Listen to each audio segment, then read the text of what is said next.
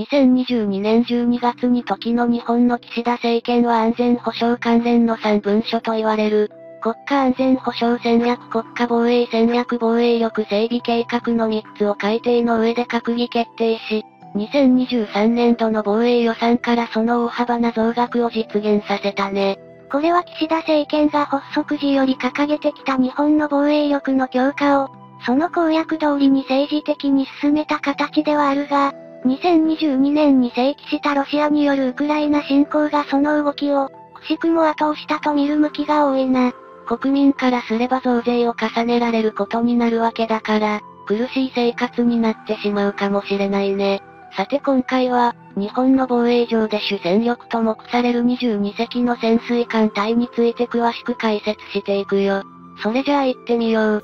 ゆっくりしていってね。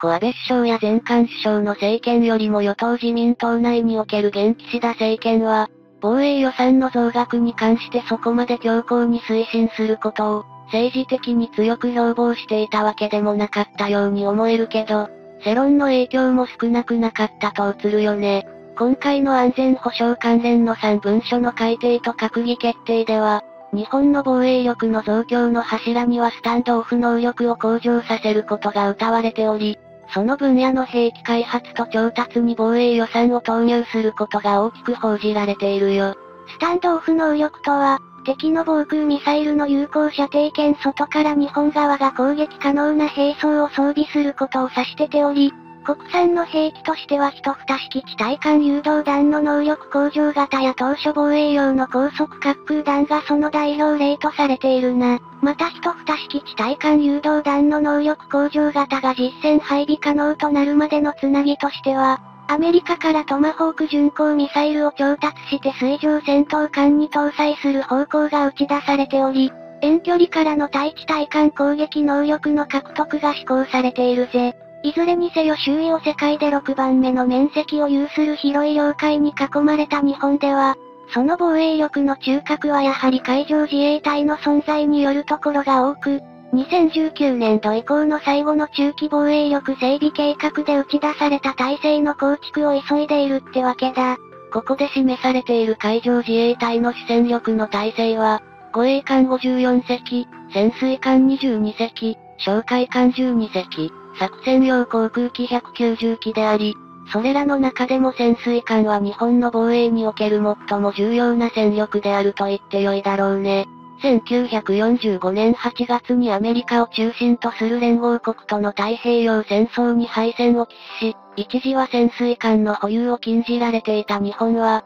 1954年に海上自衛隊の発足が行われたことで、再び潜水艦を保有運用する体制を取り戻したんだ。ただしこの時点では潜水艦の建造は太平洋戦争の敗戦によって禁じられていたことから、アメリカ海軍の通常動力型の攻撃型潜水艦である加藤級の民号貸与され、これを1955年から黒潮として運用、再開を果たしたぜ。この黒潮は海上自衛隊に貸与された後、現三菱重工業者の神戸造船所で環境等の改修工事を行い1966年まで収益。これと並行して川崎重工業者の神戸工場で1957年には戦後初の国産潜水艦である親潮が寄港されるよ。そして3年後の1960年にはこれに続く国産の早潮型2隻が寄港され、同艦はそれぞれ現三菱重工業者の神戸造船所と川崎重工業者の神戸工場で建造が行われ、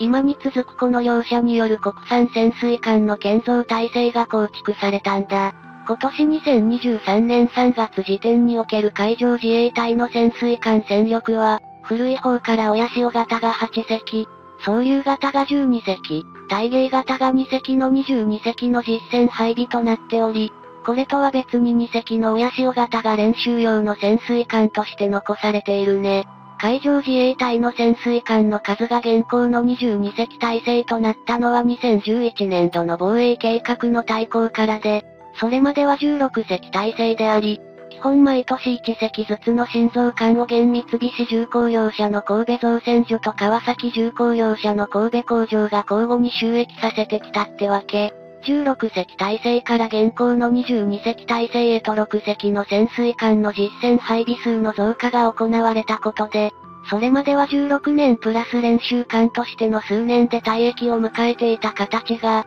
22年プラス練習艦としての年数に引き上げられた状況だね。今の22年プラス練習艦としての年数という海上自衛隊の潜水艦の収益期間は、他国海軍の潜水艦が少なくとも30年以上は使用されていることが常であることからは贅沢な運用とも思えるが、それだけ海上自衛隊が潜水艦を重視していることの証でもあるな。また現三菱重工業者の神戸造船所と川崎重工業者の神戸工場が交互に2年で1隻を収益させる状態を維持していることで、そんな中で築かれてきた海上自衛隊の潜水艦22隻体制だけど、これを実現させたのは昨年2022年3月からであり、最新鋭の体芸型のネームシップであり一番艦たる体芸が収益したことで確立されたものなんだ。海上自衛隊の潜水艦として最新鋭である体芸型は、今年2023年3月に2番艦の白芸も収益を迎え、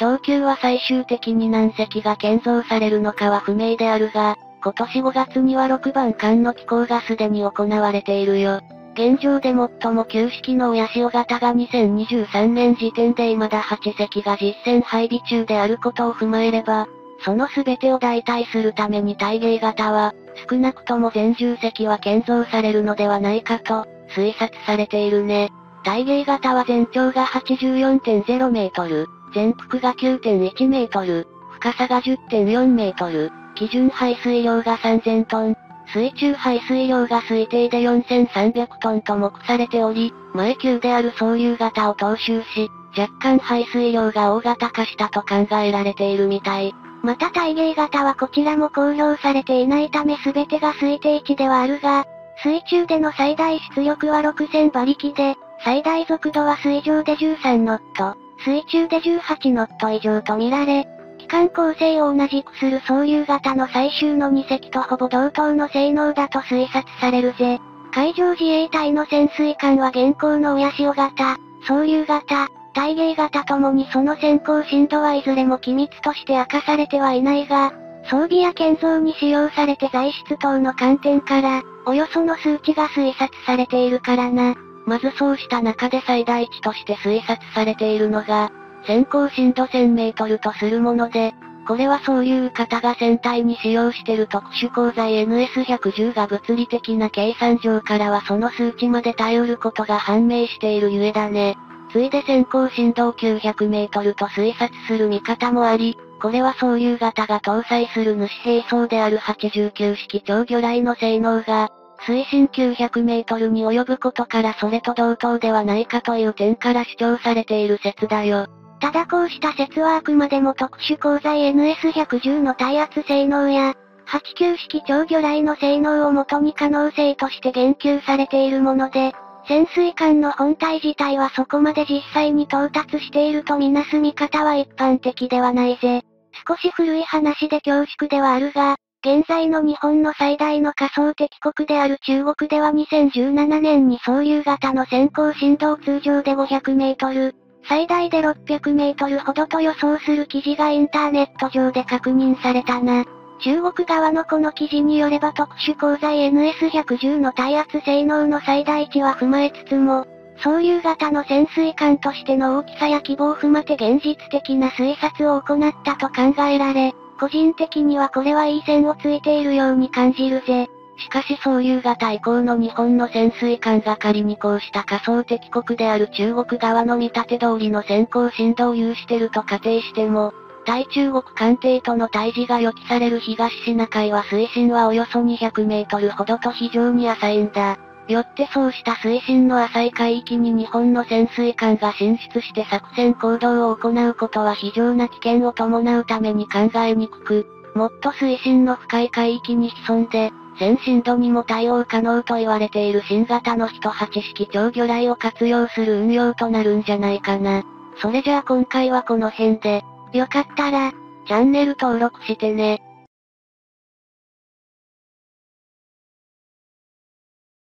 今年の護衛艦出雲加賀の改修工事に52億円がかけられ、F35B 戦闘機関西へ向けた空母化計画が進んでいることを、みんなは知っているよね。やっぱり現代において短距離離陸垂直着陸機のステルスは必要不可欠だよね。何にせよ、多額のお金をかけるんだからバッチリ仕上げてほしいよね。そうだね。さて今回はそんな護衛艦出雲加賀の改修工事について、詳しく解説していくよ。それじゃあ行ってみよう。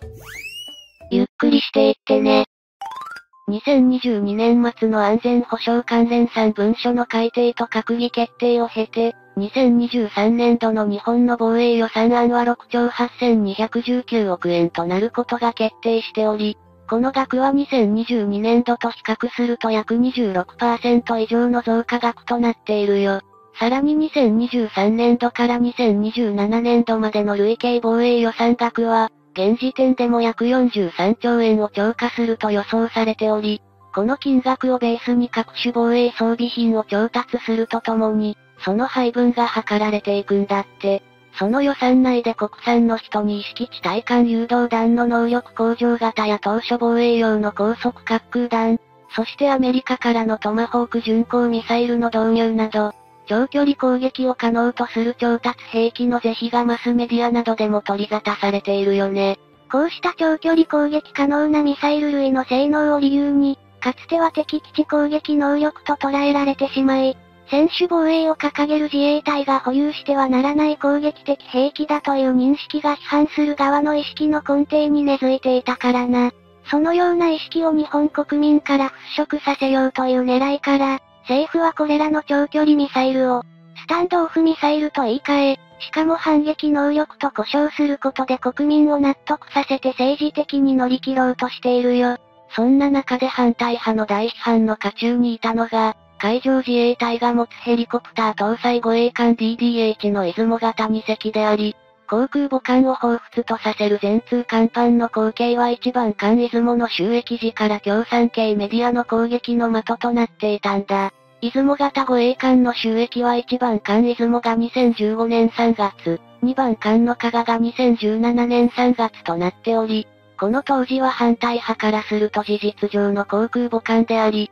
自衛隊が保有を禁じる攻撃的装備だという批判が絶えなかったってわけ。確かに出雲が収益を果たす前の2013年7月、共産系メディアが出雲型は、短距離離陸垂直着陸 STOVL を可能とするロッキード・マーティン社製の F35 ライトニング 2B 型の運用を視野に入れていると報じていたね。当時の防衛大臣だった小野寺氏は、この報道を受けてその内容を否定しており、今、思い返せば世論の反発を危惧して、できうる限り水面下で計画を進めようとしていたんだろうね。現状、出雲型護衛艦の空母化計画も2023年度の防衛予算案として決定を受けて、本年度分としては約52億円の回収費が組み込まれており、日本を取り巻く悪の数軸国に対する安全保障対応は現実的な方向にシフトしていっていると言えるよ。出雲型護衛艦を航空母艦化することが功となったのは、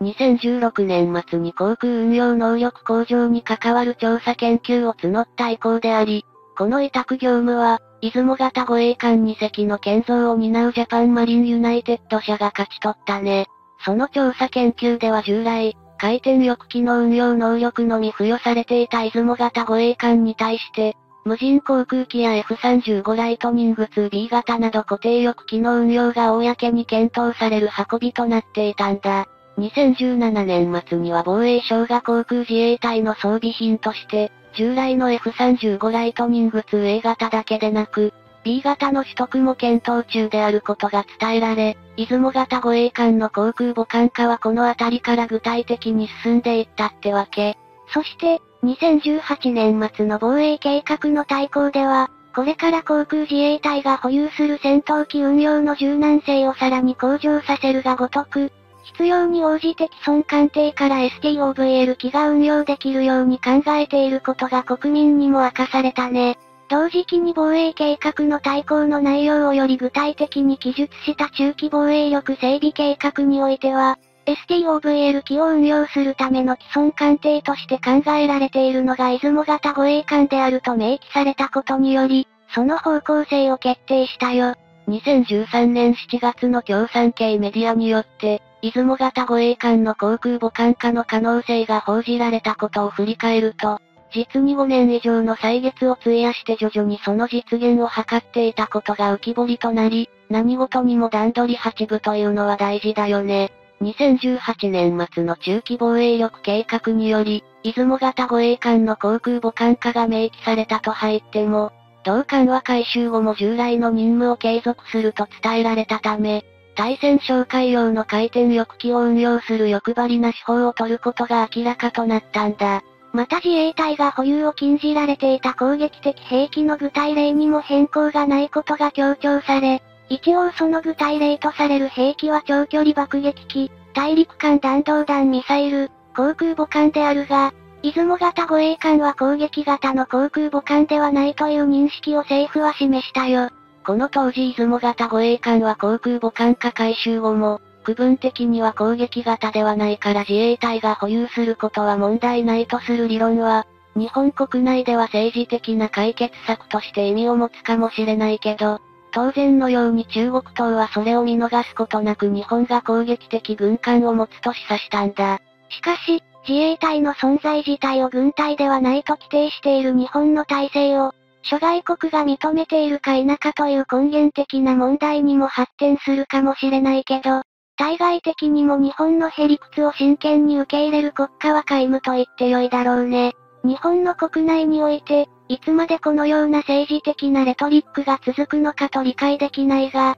ロシアのウクライナ侵攻を目の当たりにした2022年2月以降、日本国内でも反抗戦力を持つべきとする見方は確実に増えているはずだよ。その反抗戦力となり得る出雲型護衛艦の航空母艦改修において、1番艦の出雲が2020年度から、2番艦の香川2021年度から予算上も含めて、確実に着手されており、これは自衛隊で定められた領艦の5年ごとの大規模な定期点検に合わせて実施されているよ。この航空母艦化改修は2度にわたって大規模点検に合わせて実施され、次は出雲が2024年度から始まり、2026年度内に完了するのに対して、香川2026年度から始まり2027年度に完了するとされているんだ。本来は1回目の航空母艦化改修工事で出雲から先にしようとしていた点として、外観上に見える大きな変更点である飛行甲板の拡幅と、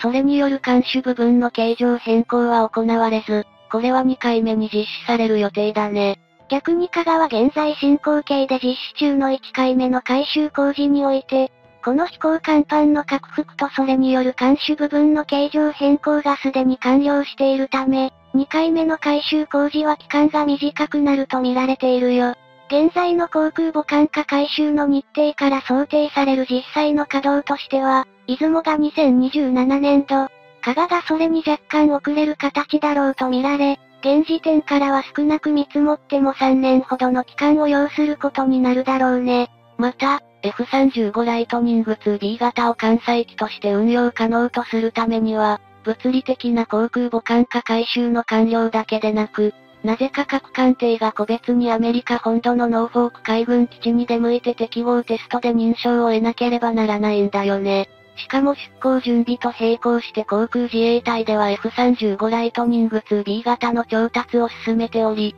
現時点では総数で42機が導入予定とされ、2023年度の防衛予算案の中には同機の8機分の調達費用約1435億円が含まれているんだ。予算上では2020年度から2022年度までの合計で、F35 ライトニング 2B 型の調達は12機だったため、2023度の8機分を追加して、ようやく20機分の予算が確保された状況だね。最初の F35 ライトニング 2B 自体の配備に関しては、宮崎県のニュータバル基地を候補地として、2024年から開始される運びになっており、それ以後は STOVL 機を活用した、出雲型護衛艦への発着艦テストも逐次開始されていくだろうね。それじゃあ今回はこの辺で、よかったら、チャンネル登録してね。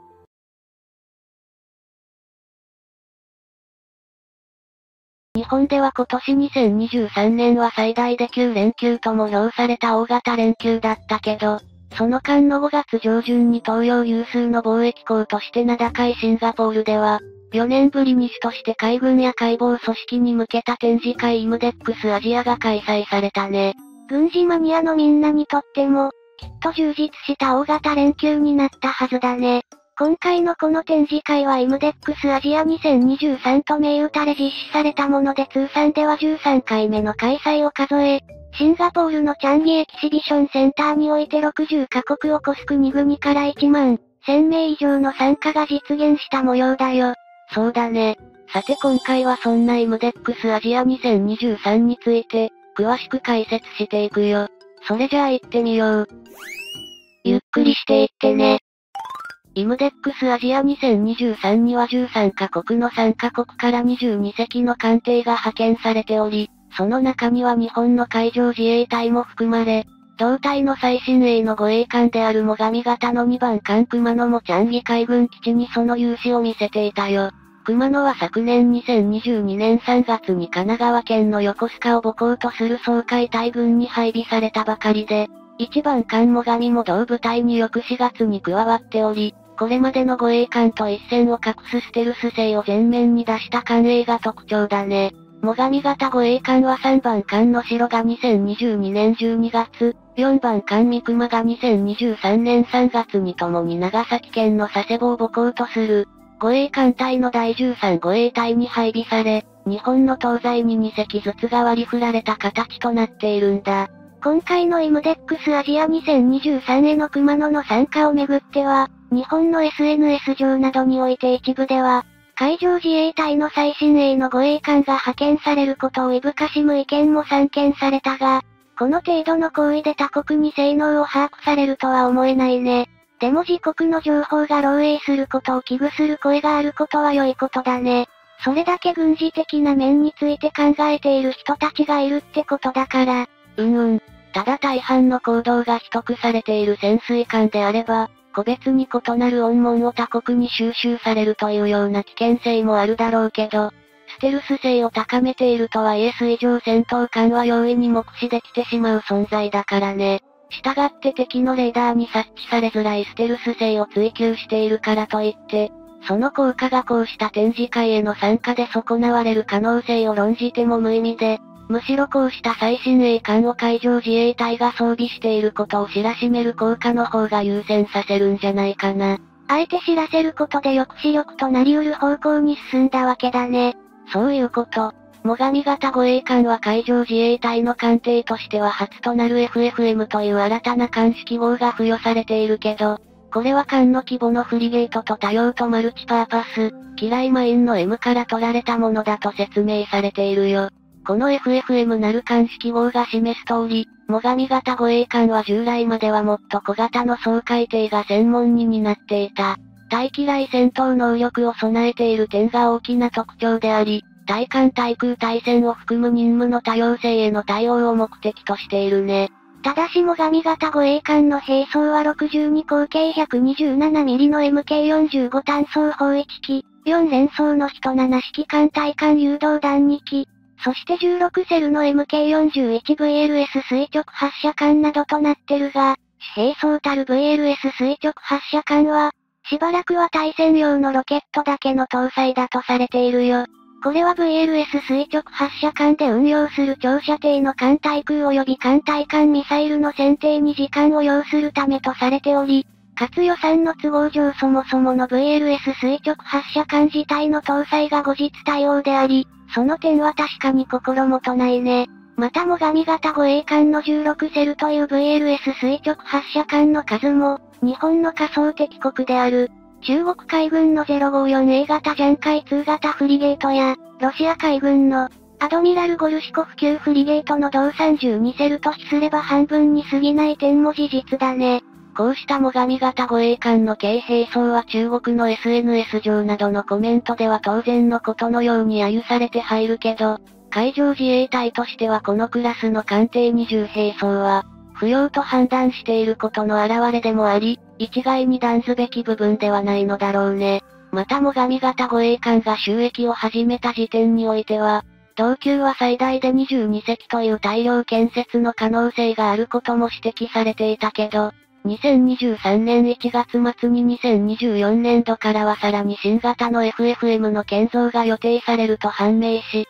12隻で終了することが確定しているよ。ただし個人的には新型 FFM とはいうものの、最上型から抜本的な変更が行われるとは考えにくく、これまでに判明した最上型の改善点を盛り込んだ形で、自動車でいう大規模マイナーチェンジ的なものに相当するのではと予想するよ。さて今回のイムデックスアジア2023に参加した熊野だけど、そこでイギリスの軍事専門誌のジェーンズ・ディフェンス・ウィークリー誌の取材を受け、UUV 機雷探索用に開発された無人機の運用が開始されていることが判明したね。この UUV 機雷探索用に開発された無人機は三菱重工業者が製造を担当し、2013年から2016年の期間をかけて開発されたもので、海上自衛隊での正式な装備名称は OZZ5 自律型水中航走式機雷探知機と呼称されているよ。ジェーンズ・ディフェンス・ウィークリー誌の取材で明かされた内容によれば、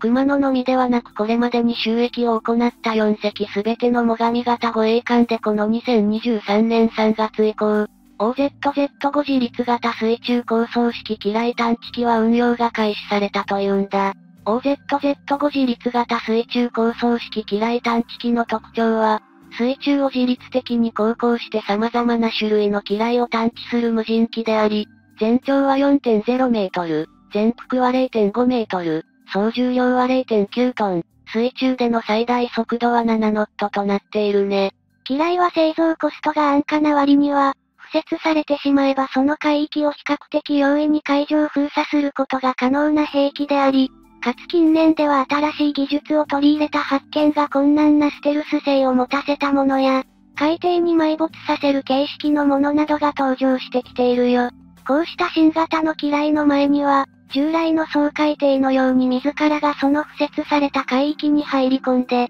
除去を行うことが著しく困難となっており、友人の総海底では、対応が難しいそれらの機雷に対し、新たな対処方法が模索されてきたよ。そこで開発されたのが OZZ5 自立型水中構想式機雷探知機であり、探知自体が難しくなった機雷を広い海域にわたって自立した航行を行うことによって、万一の際の人的な損耗を防止しつつその探知を行う任務を遂行するんだ。OZZ5 自立型水中構想式機雷探知機は、2種類の異なる周波数帯に対応した合成開口ソーナーを搭載しており、低周波に対しては日本の NEC 社製、高周波に対してはフランスのタレス社製のソーナーを採用しているみたい。日本の NEC 社製、フランスのタレス社製の2種類の合成開口ソーナーによって、機雷そのものは元よりその埋没した海底の地形の情報を取得することを可能としており、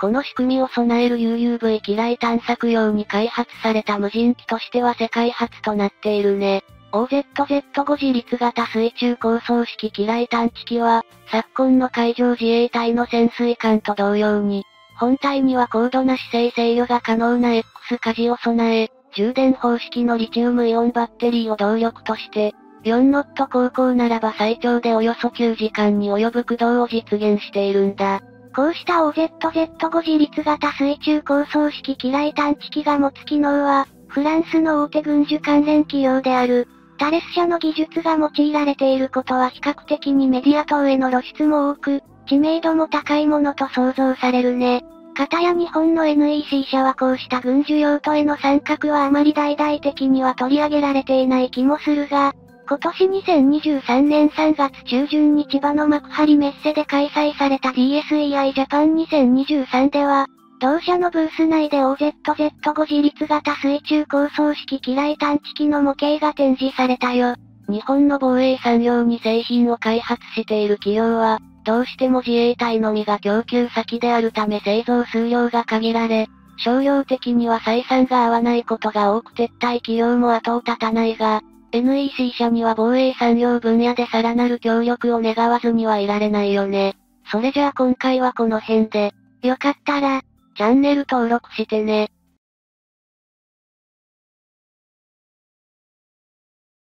日本が進めている F2 戦闘機の次期戦闘機計画だけど、別名 F3 計画と呼ばれているみたいだね。この純国産を目指して計画されている F3 戦闘機と同時に配備される予定とされているのが、AI を搭載した無人戦闘機ってわけだ。日本も着々と防衛力を上げていかないとだからね。そうだね。さて今回はこの無人機などについて詳しく解説していくよ。それじゃあ行ってみよう。ゆっくりしていってね。それにしても、戦争の様子は記録されている100年前の第一次世界大戦などから比べると全く別物になったよね。残壕戦などと呼ばれる悲惨な戦争を経て、たった一つの爆弾で何万人もの命を奪った戦争。そして現在はボタン一つで地球の裏側にいる敵を、顔を見ることもなく、名前を知ることもなく殺すことができる戦争になってしまったからね。自分が殺す相手の顔を見ることがない、効率的ではあるけど、非人間的な冷酷すぎる戦争が現実化しつつあるんだろうね。2021年5月、防衛省は現在開発中の F2 戦闘機の後継機として国産次期戦闘機と連携して使用される、無人機の実証機開発関連費を2022年度予算の概算要求に盛り込むという方針を公表したよ。この次期戦闘機は国内企業グループで開発を進めている機体で、2030年代半ばからの配備を目標としていると聞き、開発内容としては、作戦や任務遂行のための基本となるミッションシステム並走やセンサーなどを統合、連携させるや、インテグレーション統一、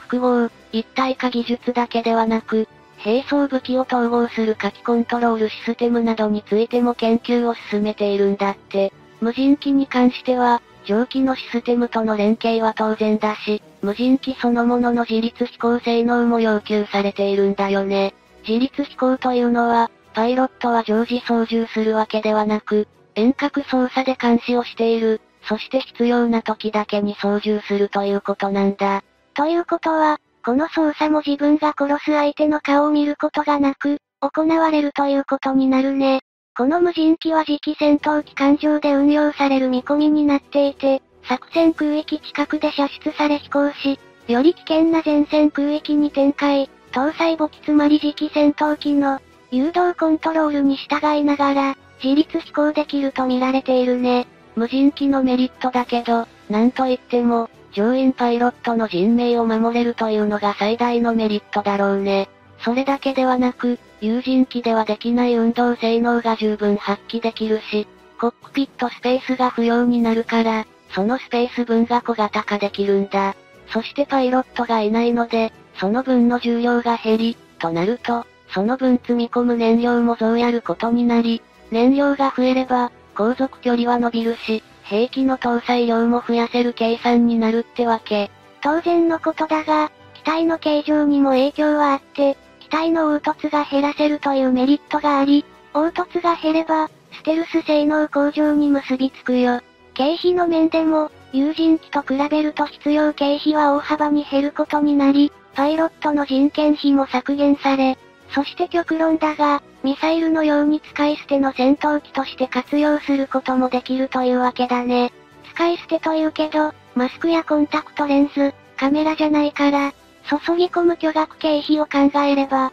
簡単に使い捨てにしてほしくはないよね。廃棄された機体から機密情報が盗み取られるという恐れがあるという意見も散見するし、実は防衛省内では無人機開発構想が以前からあったみたい。航空自衛隊がアメリカから導入を進めている無人偵察機 R94B グローバルホークのように、遠隔操作できる無人機研究も進められていると言われるし、遠隔操作できる無人航空機といえば、アメリカのグローバルホークと並んで有名なのが、アメリカ空軍が開発中の XQ58A バルキリーだね。バルキリーというと、80年代一世を風靡したアニメ超時空要塞マクロスを思い出す方もいるんじゃないかな。戦争アニメと歌姫という異質なものを同時に存在させ、今に続く戦闘美少女という流れを作る一助になったと言われているよ。余談だけど、放映前にはヒロインの民名を宇宙のリリー・マルレーンと形容していたみたい。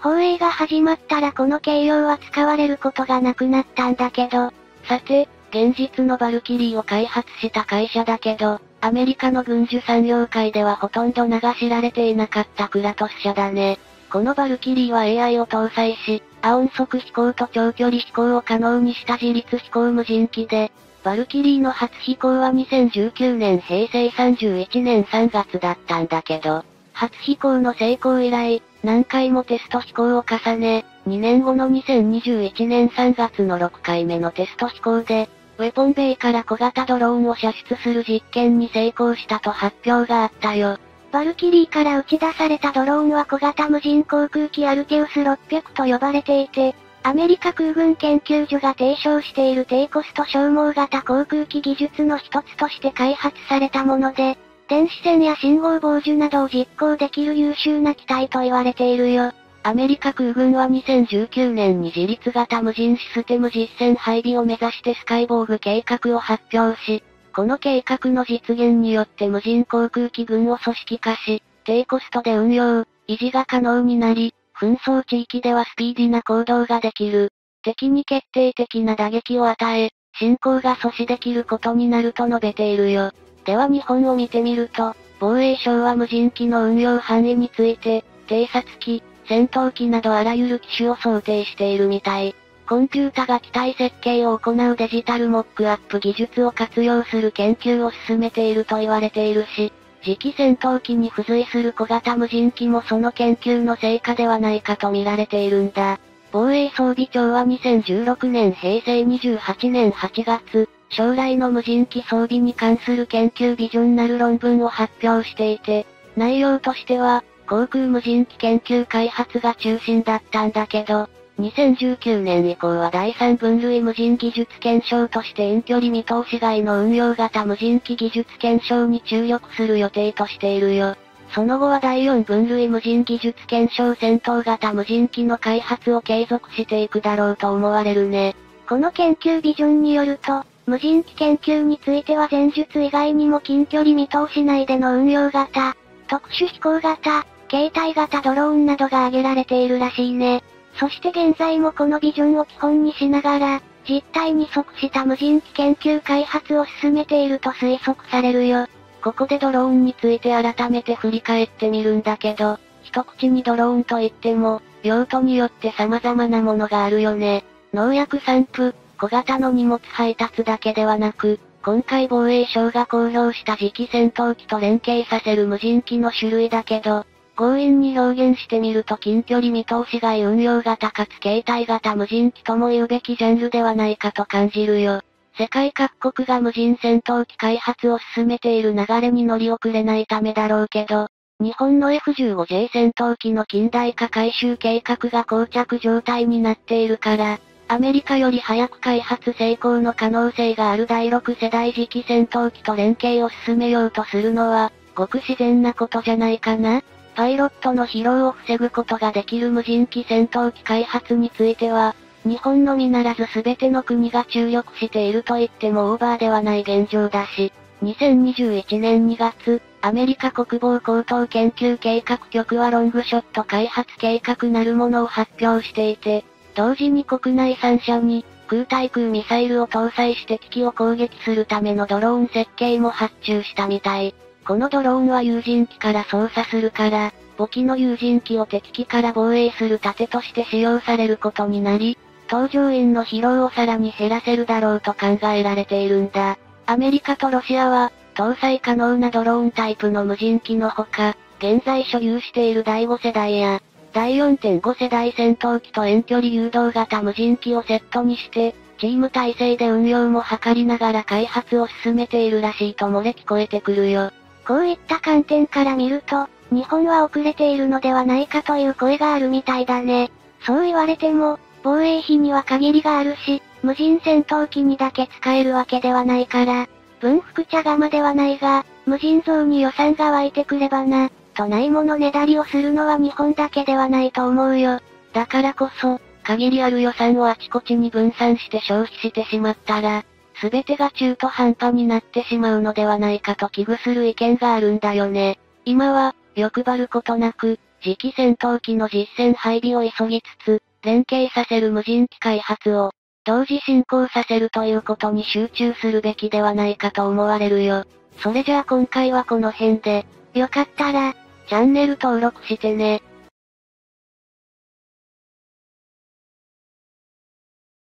最上型護衛艦は今までの護衛艦と打って変わった形状をしているよね。ステルス性を重視して設計されたステルス艦って感じだよ。全体の形は、レーダー反射面積 RCS イコールレーダークロスセクションを小さくするため、船体や上部構造を単純平面化しかつ反射波が情報に向くよう傾斜がつけてあるぜ。また従来甲板上に露出していた闘病装置類などの装備は艦内に収められているな。この形状は世界の艦艇の主流となっているんだよね。だから、最上型がこの方式を採用したのは世界では早い方とは言えないんでしょ？さて今回はそんな最上型護衛艦の性能と役割について詳しく解説していくよ。それじゃあ行ってみよう。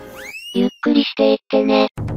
まず RCS についてだけど、RCS というのは、敵のレーダーからの見つかりにくさを示しているんだ。RCS を下げる方法は反射波を相手レーダーに向けないか、電波を吸収して反射しない方法があるよ。最上型は反射波を相手レーダーに向けない方法で RCS を下げているな。電波吸収素材の使用や電波吸収塗料を塗布することでもある程度のステルス性得られるだろうが維持も大変だぜ。日本のステルス艦としては阿武隈型護衛艦を最初のステルス対応護衛艦とする人もいるんだけど、最上型が最も単純平面化した形状になっているんだ。と言っても最上型の船体は上甲板から下は以前の艦艇同様に、敵のレーダー波を海面方向に反射する逆台形の形状になっているね。海面方向に反射されたレーダー電波はまた海面に反射されて敵艦のレーダーに届くが、これに対し、アメリカの世界最大の駆逐艦ズムボルト級ミサイル駆逐艦は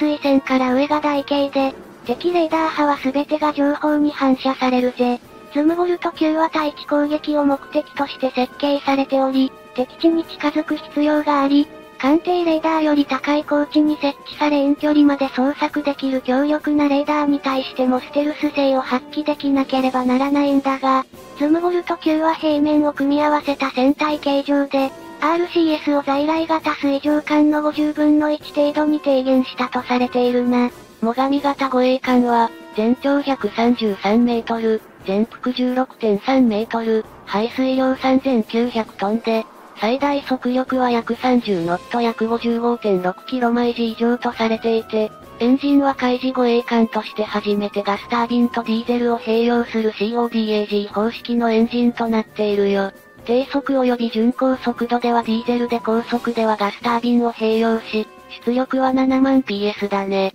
次に最上型の武器などについて見ていくんだけど、前方から、62口径5インチ砲 ×1 機、マーク、41VLS 装置 ×1 式追加装備を予定。水上発射管 HOS303-324mm 3連装単魚雷発射管 ×2 機。水上艦用機関銃化遠隔操作型 RWS×2 機。ジャフロケットシステム ×1 機。艦対艦ミサイル SSM 装置 ×1 機、対艦ミサイル防御装置近接防空用シーラム ×1 機が搭載されているんだ。62口径5インチ砲の手法は、62口径5インチ 127mm 砲を軽量の単装砲塔と組み合わせた砲で、名称はマーク45モド4で、海上自衛隊はこれを日本でライセンス生産を行い62口径5インチ砲として採用しているよ。62口径5インチ砲の砲身長は7.874メートル 62×127mm で、砲塔は耐水構造のアルミニウム合金製、砲重量は約29トン、自動装填により完全無人化されているね。初速は、新品状態で808メートル毎秒、射程は 37km、発射速度は16-20発毎分で、ステルスマストに装備されているフェイズドアレイレーダー OPY2 が四方射撃管制にも使用されるんだ。次にマーク。41VLS 装置は追加装備が予定されていて、具体的にはシンガポール海軍のフォーミダブル級フリゲートのような感じになるとされており、VLS をレーダー遮蔽板で囲い、ステルス化してあるみたい。そして水上発射管 HOS303 は2段積みにされた3本の発射管、旋回装置、発射装置などで構成され管の両舷に設置されていて、重量 320kg、全長 2832mm の97魚雷、ヒトニー魚雷やアメリカのマーク、46魚雷を発射でき、魚雷は発射管の後尾にはめ込まれた球形の金属管アキュムレーターの空気圧によって射出されるんだ。水上艦用機関銃か遠隔操作型 RWS は 12.7mm 重機関銃を装着したものだな。重火は固定式だが、機関銃は通常は艦内に格納されており、この装置は既存の 12.7mm 機関銃重火を自動化し、操作員が見張り、装填、射撃を一人で原則に出ないでもできるように省力化されているぜ。遠隔射撃ができるだけでレーザー測距儀や自動追尾装置、ビデオ映像を保存する録画機能も付加されていないみたいだね。本来 RWS は水上艦艇の近接防御のためのシステムで、両舷の2機だけでは360度の近接防御は不可能となっており、特にこの配置では後方は死角になっているぜ。近接防護用でありながら、後方から高速で自爆ボートなどが来たような場合対応できないだろうな。艦の後方には対艦ミサイル防御装置近接防空兵器があるんだけど、短距離用ミサイルしか搭載していないみたいだしね。ジャフロケットシステムは攻撃機や対艦ミサイルなどの攻撃に対し、飛来するミサイルの誘導装置や敵型のレーダーに対して時間の位置を不明瞭にするために発射されるよ。電子戦支援 ESM システム、レーダー警報受信機などと連動して、脅威を探知すると同時に、ロケットが発射され、ロケットがアルミニウム箔や金属ワイヤーなどチャフト油を空中散布するんだ。チャフロケットシステムはマーク、137発射機 ×2 機両舷に各1機とマーク、164制御盤、ク、160電源装置などによって構成されていて、6発のロケットを挿入できるんだけど、装填は人力で行うようになっているんだって。SSM 装置は、艦の中央に配置され、左舷及び右舷を向いた人7艦対艦ミサイル SSM24 連装発射等2機及び、攻撃管制用の艦対艦ミサイル艦上装置産業 SSMS3 で構成されているぜ。SSM 装置はミサイルを最大8発搭載でき、ミサイルは、全長5メートル、全幅0.35メートル、ミサイル重量 700km、射程 400km です。推進方式は固体燃料ロケットモーターブースタープラスターボジェットエンジン巡航用で、誘導方式は、シュート工程管制広報装置 INS、全地球測位システム GPS、終末工程アクティブレーダーホーミング ARH となっており、陸上自衛隊の人に1対艦誘導弾をベースとして開発され、目標座標を入力すれば地上目標の精密打撃も可能なため、有事には地上部隊支援のための対地攻撃用としても使用できるらしいな。対艦ミサイル防御装置はイージス艦の区域防空や艦隊防空及び搭載予定の VLS による股間防空をくぐり抜けて、飛来する対艦ミサイルを最終防衛ラインとして迎撃する近接防御武器システムだね。使用するミサイルはリム116ラムで、ミサイルは FRP 製キャニスターに入れられた状態で供給され、人力により発射機に装填されるよ。対艦ミサイルの飛来を、艦艇のレーダーや ESM 電子戦支援装置、光学赤外線装置などで探知すると、目標データをミサイルに付与して、発射機が敵ミサイルの飛来方向に向けられ、ミサイルが発射されるんだけど、以後は艦艇からの誘導を必要とせず、自立飛行して目標に向かうから、他の目標に向け、次のミサイルを発射することも可能なんだ。全長2.82メートル、弾体直径12.7センチメートル、翼幅44.5センチメートル、射程9.6キロメートル、重量73.6キログラム、弾頭、爆風破片策略、誘導方式中間誘導パッシブレーダーホーミング、終末誘導赤外線ホーミング、速度マッハ2.5となっていて、発射機は11連装で、複数目標に対処でき、発射機自体が補足レーダーや赤外線センサー、電波探知装置を備える独立完結したシステムだよ。また、SH-60 系哨戒ヘリコプターなんだけど、このヘリコプターは SH-60J をベースとして開発され、改良点は高性能ローター、キャビン拡大、若干誘導支援装置、戦術情報処理表示装置、高性能ソーナーが装備されていて、全長19.8メートル、